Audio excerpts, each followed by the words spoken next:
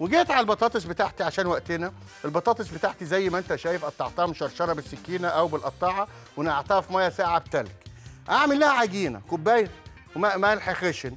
وبعد كده العجينة بتاعته عبارة عن كوباية دقيق نص معلقة كبيرة من ال baking powder معلقة صغيرة ملح معلقة صغيرة فلفل ومعلقة صغيرة شطة اختياري.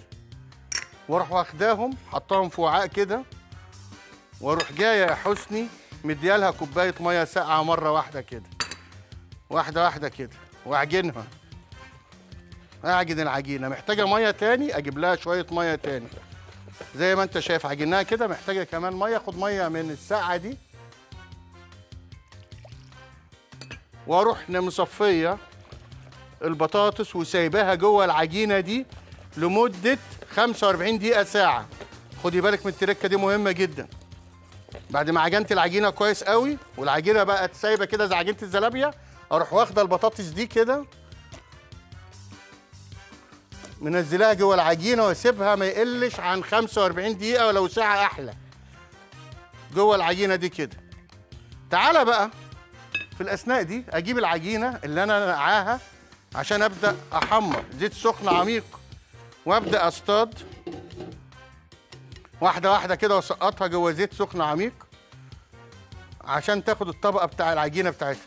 يا أستاذة فريدة. ألو؟ حاول اتصل بينا يا فندم.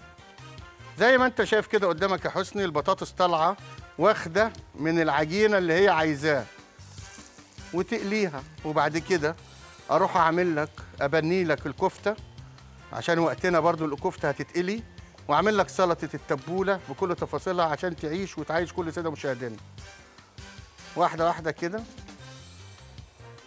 بشوكة أو بتونج. لسه شوية. وتونج.